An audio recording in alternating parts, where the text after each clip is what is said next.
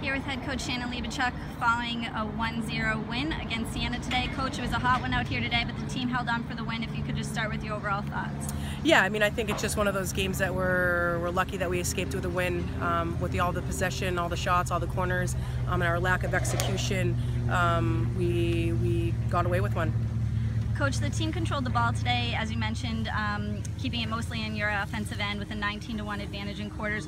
What do you think the team needs to do um, to convert on more of those opportunities? Well, 19 to 1, I mean, and, and scoring only one goal in the game is quite simply embarrassing. Um, they earned all those opportunities and to essentially throw 19 opportunities out the window um, really speaks to our inconsistency on our corner unit. Um, we talked to them you know, during the game and after the game about accountability, and, and that's what we're going to do this week at practice is start holding those units um, accountable. Um, I think that the details make a difference in a game, and, and quite frankly, um, 19 corners and, and one goal is, is unacceptable. And coach, just looking ahead, start conference play this week at Albany, nationally ranked team, um, always one of the top teams in the East Division. What do you think? What will your plan entail to work on this week? Well, I think we're going to have a good, solid week of practice. Um, I think this team um, takes criticism quite well.